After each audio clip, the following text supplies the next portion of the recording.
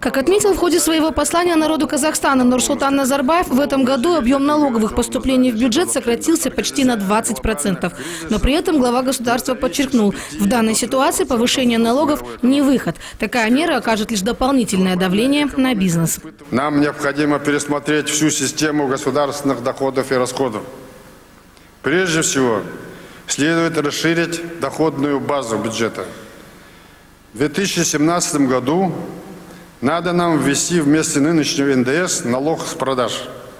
Следует отменить все неэффективные налоговые льготы, которые до сих пор раздавали налево и направо.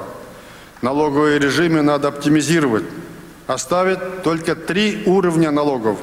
Общий налог, известный, патент для индивидуальных предпринимателей, специальный налоговый режим для малого и среднего бизнеса и аграрного сектора. Вот три налога. Такой механизм будет выводить теневую экономику на свет.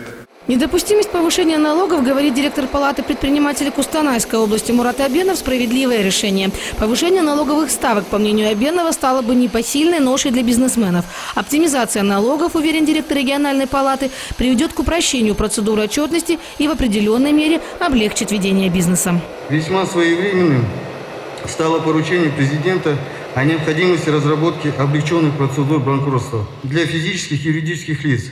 В практике областной палаты нередкий случай, когда индивидуальные предприниматели, желая приостановить свою деятельность и пройти процедуру реабилитации, не могут этого сделать из-за проблем в действующем законодательстве.